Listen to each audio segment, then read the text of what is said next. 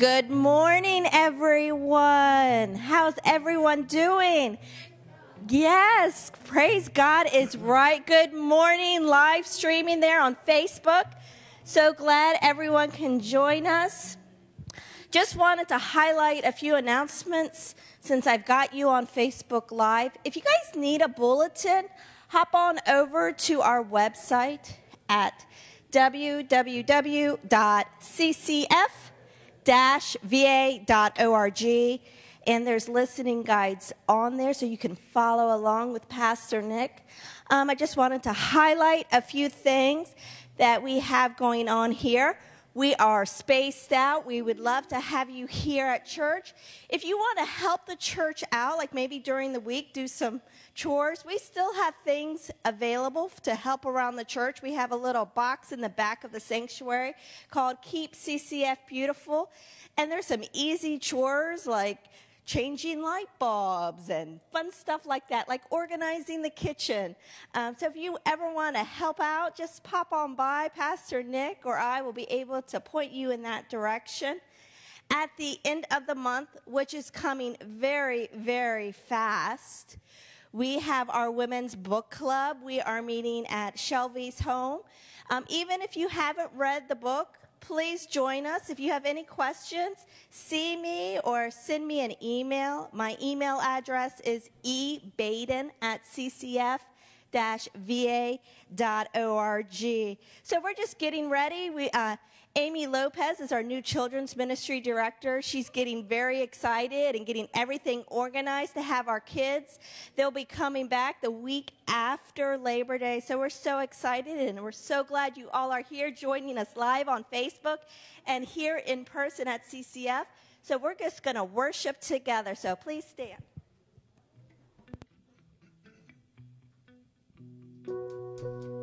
Thank you, Jesus, for another Sunday. Amen.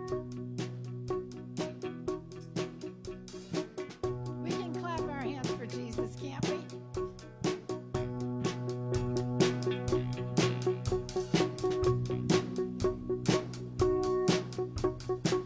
I lay my life down at your you're the one I need.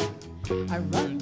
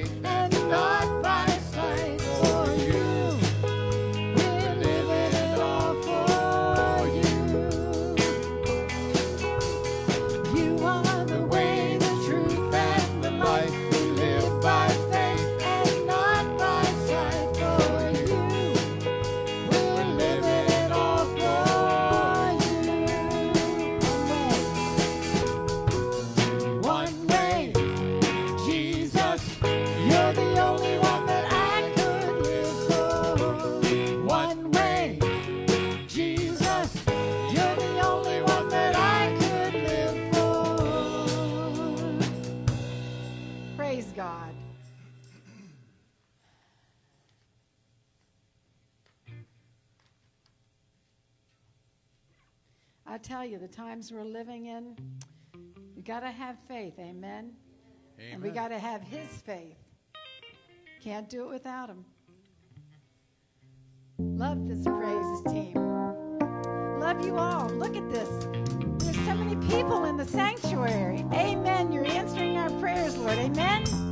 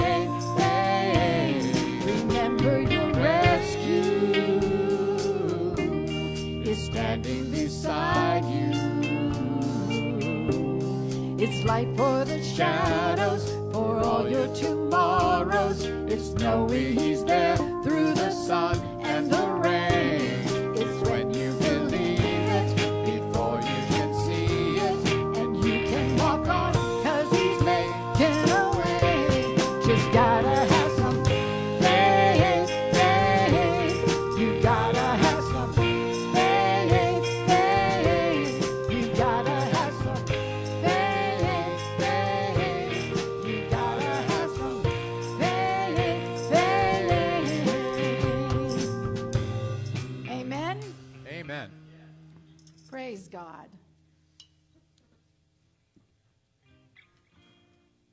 put that on my husband's tombstone. See, I we kill each other, and I'll kill him off first.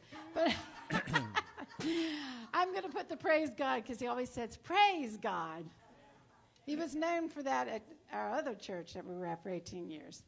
So that'll be yours on your tombstone, my love, and mine'll be every day's a gift, no guarantees of tomorrow. Amen.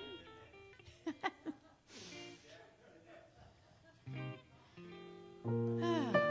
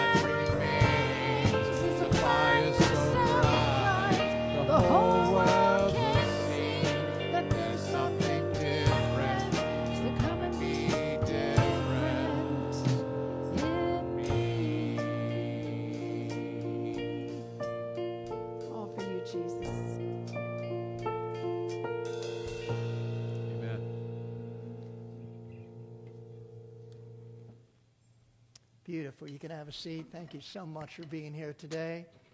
Came here to tell the Lord that we love Him, show Him, and get into His Word. Father, I pray right now, Lord, as we just look into your Word and dig into it, that your Holy Spirit will make it, reveal it to us in a new way, in a mighty way, Lord. Just like in the 4th of July when those fireworks go off, Father, that's what we want here fireworks of your love and your grace and your mercy and your forgiveness spreading out uh, all over this congregation, Father. And we give you the glory in Jesus' name. Amen.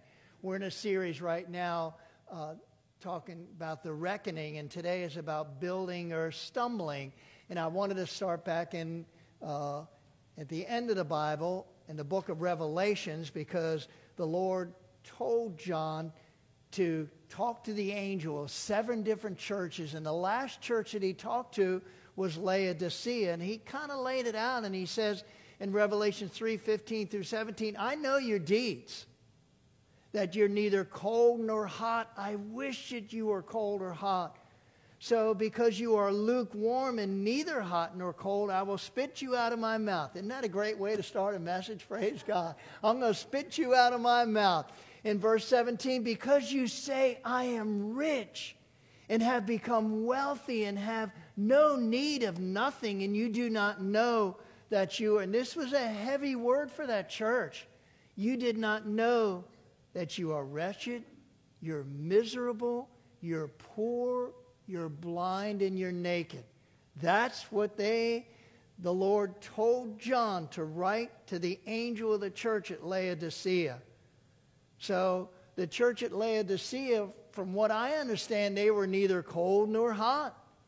They were neither cold, which cold to me would be openly rejecting Christ and not wanting anything to do with him, or hot, filled with spiritual zeal.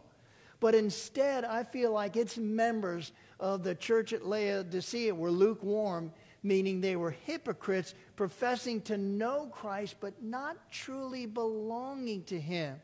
So the people at the church of Laodicea, they were not building their faith, and that's what this message is about. So I see when, if you're not building your faith, you're really stumbling. There's really only two ways to go, and stumbling meaning falling, faltering.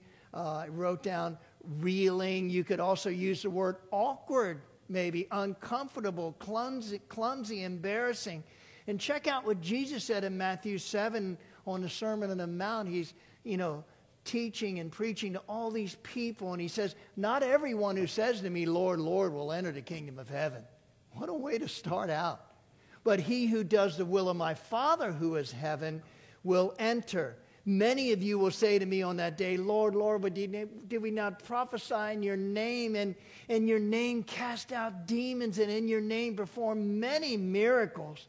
And then I will declare to them, I never knew you. Depart from me, you who practice lawlessness. And I put that there because you hear that word a lot today lawlessness. In the commentary concerning that, verse 21, it says, The barrenness of this sort of faith demonstrated its real character. The faith that says but does not do is really unbelief. Jesus was not suggesting that uh, through this Sermon on the Mount that works are commendable for salvation because they're not. But true faith will not fail to produce the fruit of good works.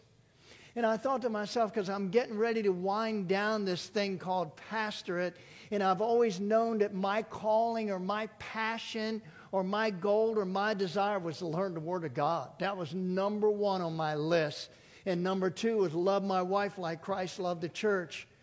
And so I wanted to learn the Word of God. I wanted to know it. I wanted to live it out. And then I wanted to be prepared to teach the Word of God. So, what do you mean by preparation, Pastor Nick, when you say, what does it look like you to prepare for a message? And I wrote this down. First is listening. You got to be listening. You got to be studying. You got to be meditating. You got to be correlating. I talked about correlating last week. You got to be watching. And I can't tell you how many times through the years, through the work weeks, mostly it happens on Sunday morning when we'll be in prayer or, or in our community group and somebody will say something that has totally to do with what I'm going to speak about when I get out here. And it just blows me away. I don't know how to put that, but it's just confirmation. You know, they would say something that's matching up. And so, in my first bulletin point there, if you choose to build up your faith, He's going to give you confirmation. If you choose to build up your faith, He'll give you confirmation. The dictionary app for con- uh, confirmation is the act of confirming. And confirming means to establish the truth. Isn't that what Christianity all about? Isn't that what your life is all about? Getting into this word, establishing the truth, accuracy, uh, val- validity, the genuineness of all acknowledged with a definite assurance that in every message, in every lesson that I need to lay out the facts from God's Word, and that's why I'm here. No matter what the subject is, you got to lay out the facts from God's Word. Whether you're going to believe it or not, because that's your decision. When you walk out here every week, it's your decision whether you're going to believe it or say, well, he's just too old. He doesn't know what he's talking about. And you have to choose to live by it. Building up, if you choose to build up your faith, it involves preparing. And this is my passage today. 1, Tim, uh, 1 Peter 1, starting at verse 13. We're just going to go through the verses and going to try to explain it to you and give you the facts about it all the way to chapter 2, verse 12. But verse 13 in Peter, 1 Peter 1, it says, Therefore, prepare your minds for action. Keep sober in the spirit. Fix your hope completely. It doesn't say every once in a while or when you feel like it or when things are going good but fix your hope completely on the grace to be brought to you at the revelation of Jesus Christ. Remember that day when Christ came in your, vi- in your life and he revealed himself to you, and all of a sudden you repented of your sins and received him into your heart and you became a Christian. That happened at the revelation of Jesus Christ. And in verse 14 it says, As obedient children, do not conform to the former lusts which were yours when you were in ignorance. Remember when you didn't know God and how you worked and how you talked? Oh, I used to think it was so funny to curse. Oh, man, every other word, laugh. But like the Holy One who called you, Peter says, be holy yourselves, also in all your behavior, because it is written, you should be holy, for I am holy. I saw a statement from Tony Evans. Boy, does it fit today. He says, if you go to the hospital for an operation, you want a doctor to use sterilized equipment and to be in a sterilized environment because you don't want viruses and bacteria getting in the way of your health. Praise God. I can't tell you how many times a day I wash my hands now. It's sad, man. I mean, my skin is, praise God. He says, then he goes on and says, sin is a spiritual virus that has no place in a sterile environment of God's holiness. Think about that. In verse 17, thank you, John. If you address as Father, the one who impartially judges according to each man's work, impartially, meaning fair, meaning uh, just.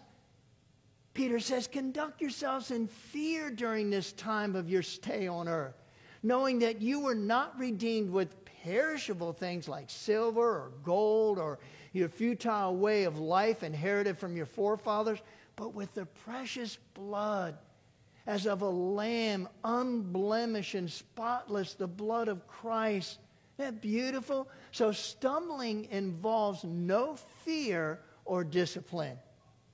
When, you, when there's no fear in your life of the Lord or there's no discipline in your life, you're going to stumble. I believe the fear of the Lord is two sided. One side has to do because when I read the fear, you know, fear the Lord, it says that so many times in the Bible, it's talking about your reverence for Him, your awe for Him. But the other thing has to be about worrying that you did something. You have fear because you did something wrong. And that's like, and I want to pause a little bit and talk about parenting here because it's, it's similar. When you think about the fear, it's similar to the dual role the parents have with their children. Not only do they wish for their children to respect them, can I get any amen from parents?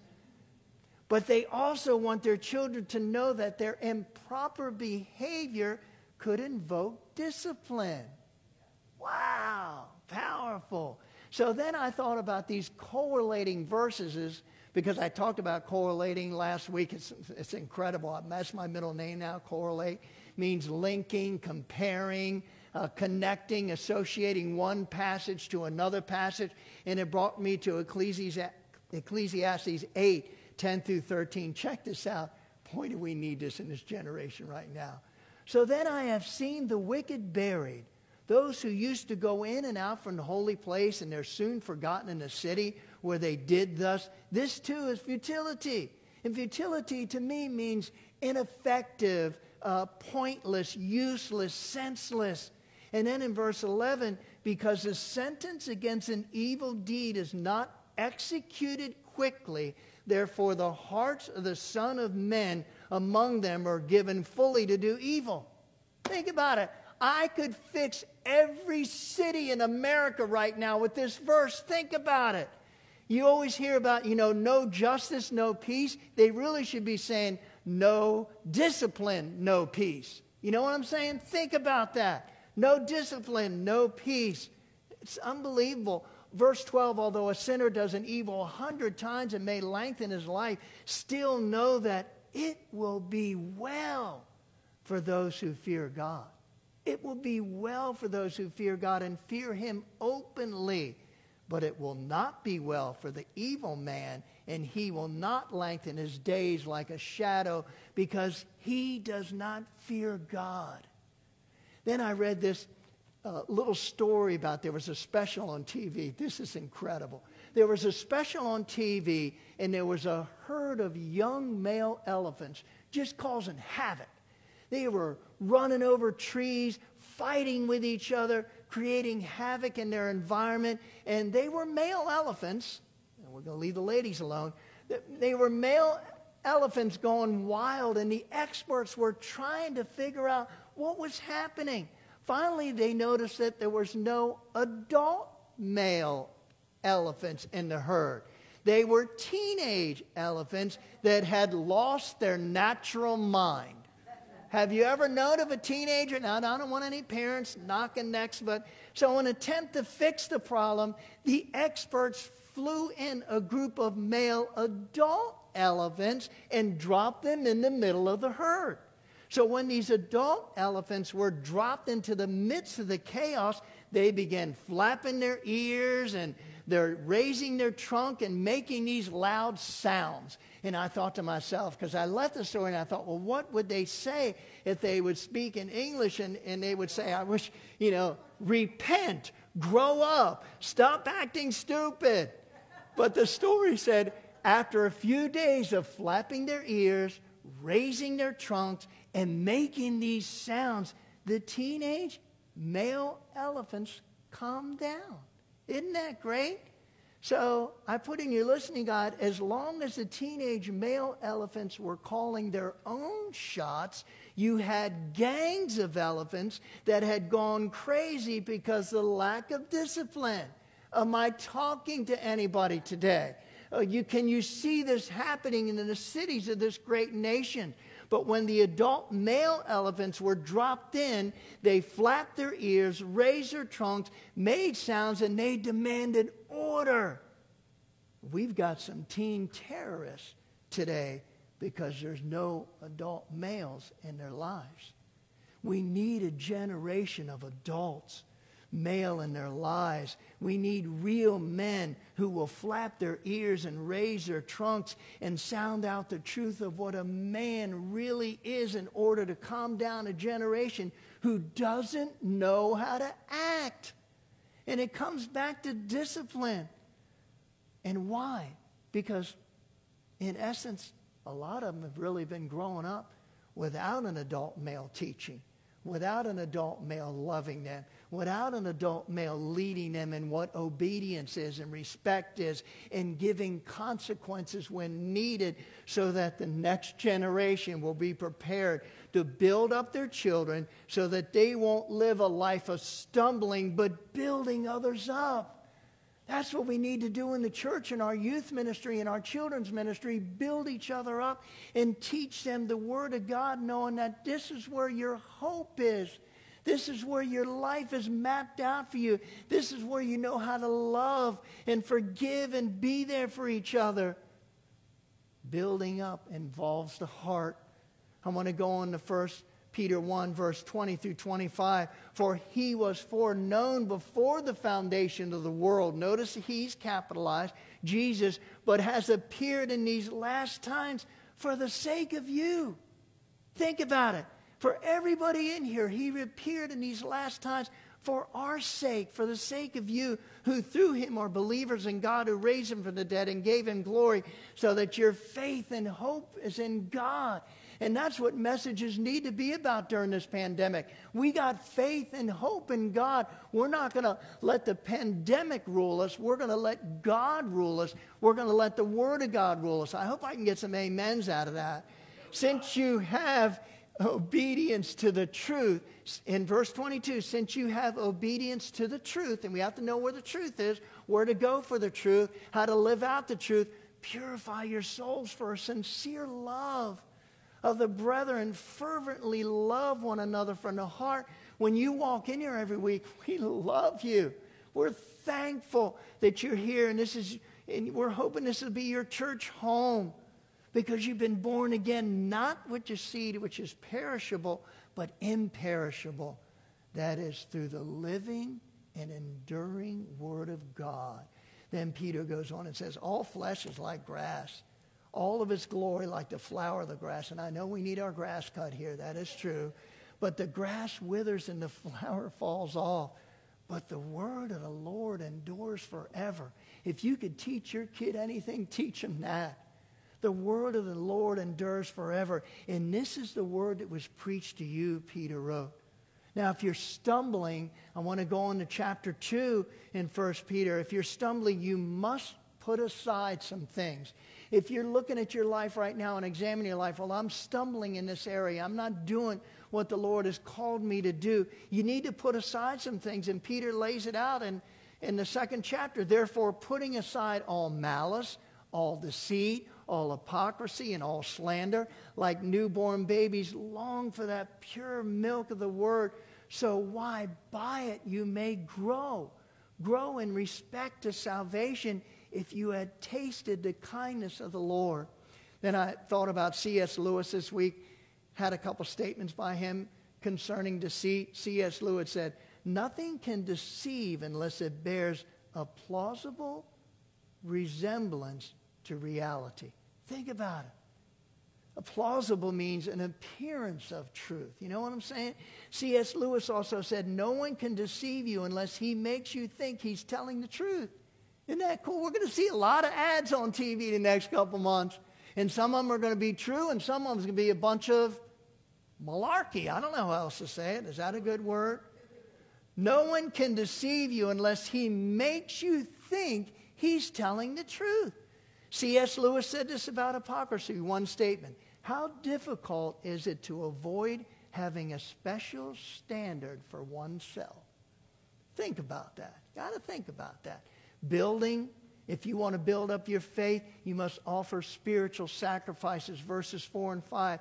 And coming to Him, which is all what we need to do, coming to Him as a living stone which has been rejected by men, but as choice and precious in the sight of God, you also, as living stones, are being built up into a spiritual house. I call it the church for a holy priesthood to offer up spiritual sacrifices acceptable to God through Jesus Christ. So think about this. As Christians, you're going to be rejected by men. I taught last week, as followers of Christ, you're going to uh, be Uh, I don't know what the word I'm looking for. There's going to be deception. There's going to be temptations. There's going to be tribulations. There's going to be persecution. You're going to be rejected by men. But in the sight of God, you're his child. You're a choice. You're precious. He wants you to build up. How do you stumble? Verse Peter 2, 6 through 8, winding down now. For this is contained in the scripture Behold, I lay in Zion a choice stone a precious cornerstone, and he who believes in him will not be disappointed. Do you understand that? That precious stone is Christ. He's the cornerstone. I lay that in Zion. He who believes in him will not be disappointed. This precious value, verse 7 says, then is for you who believe. But those who disbelieve, the stone which the builders rejected, this became the very cornerstone and a stone of stumbling. Think about that stumbling and a rock of offense, for they stumble. Why? Because they are disobedient to the word, and to this doom they were also appointed. That's the sad part of the other side of it of people who reject Christ. They stumble because they're disobedient to the word, and to this doom they were also appointed. My last statement here why build as the band comes forward, verses 9 through 12 because this is four verses that could change people's lives. And I want to encourage you with these verses because when you walk out of here today, I want you to understand something about knowing Christ and repenting of your sins and becoming a follower of Christ. This is what I want to encourage you with. You are a chosen race. You are a royal priesthood. You are a holy nation. You are a people for God's own possession. We belong to Him. So that you may proclaim the excellency of Him who called you out of darkness into His marvelous light. Do you understand that? That's our job as believers.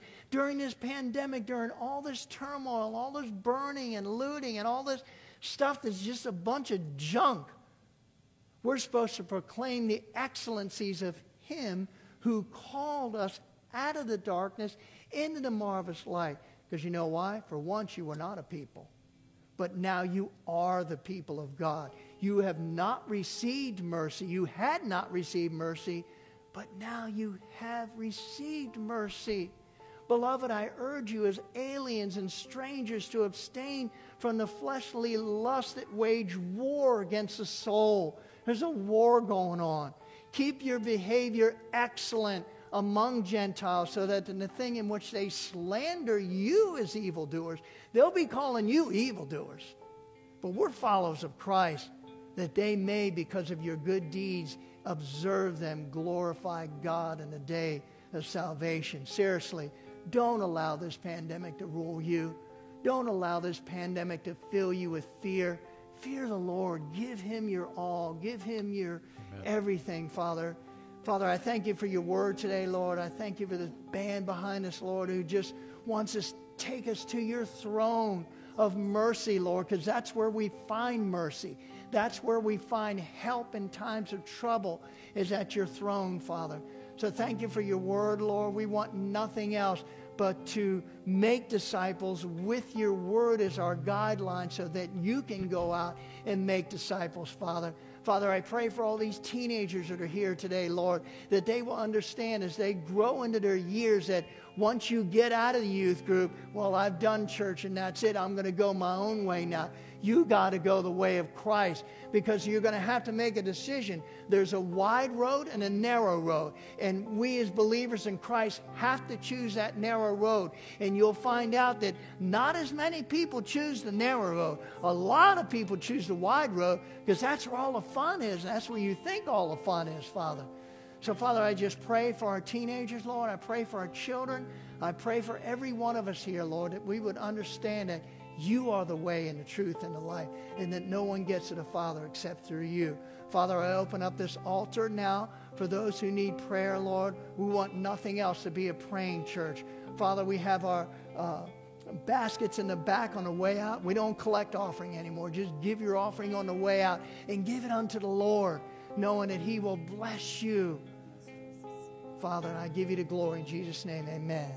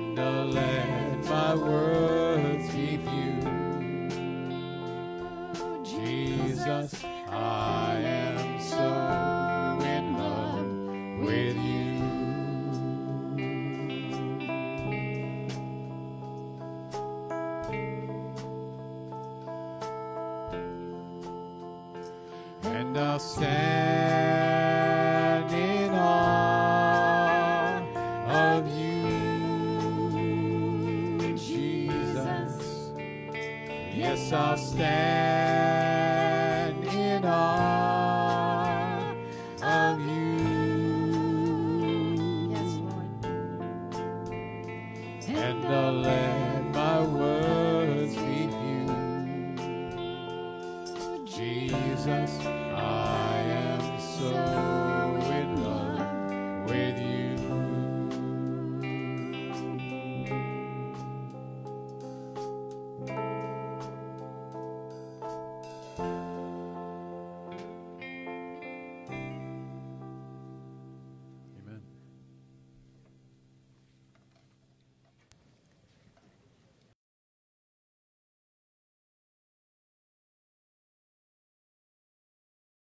was stepping up to be our new children's ministry director. So that was really exciting.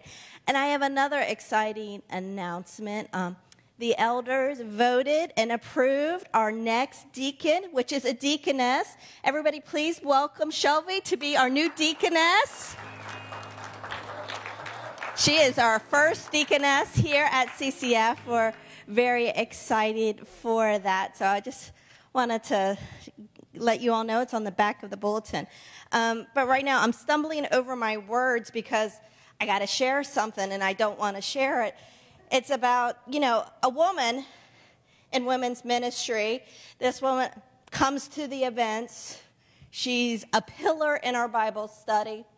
She's a pillar in our book club. She speaks the word of God.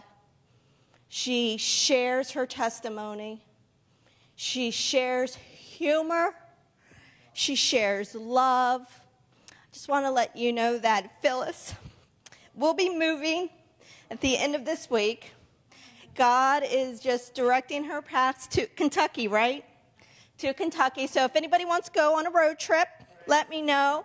Um, she's also an amazing baker. I mean, just, I just, I just love you. You know, you are like my grandma who passed away, and she sent you here. And